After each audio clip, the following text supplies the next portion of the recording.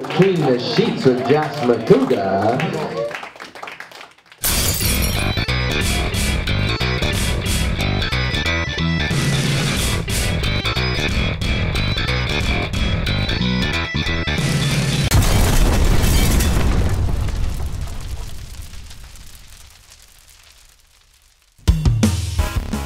I would I would date, not date. That's that's the wrong term. I think at this point. I don't think anyone here is assuming you dated. I don't believe that you've never had sex with a hooker. I have not had sex with a Out of hooker. all the, if I was like, fuck, I gotta get a hooker, who do I call? you would have a number. You would think Josh, right?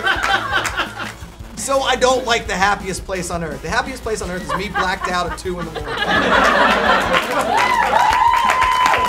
The iPhone is done for me in uh, in just two months what my father couldn't do in 23 years.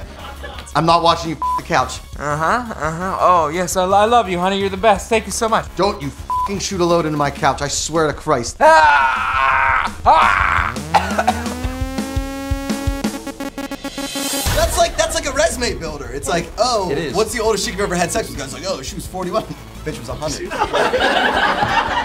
How many women who have hit menopause have you had sex with? You're bad. I am bad. You're so bad. Ooh, you're bad at sex. Specifically. Um, really? I broke up with my girlfriend last week, so I'm like extremely horny right now. So I, If you're about to have sex, you need that much lubrication. One of the two people's not really into it, all right? I'm talking no condoms, my man. Oh. Last night, ooh, I stuck it in the wrong hole.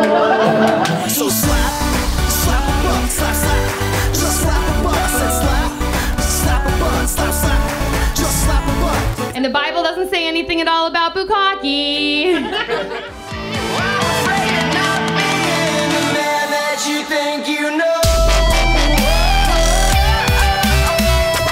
And there you have it. This mystery gay man owes his entire gay identity to Chick fil A. I was like, are you also craving a dick in your butt? 'Cause that shit's gay. Not my magic speedo. Magic Speedo! Ah!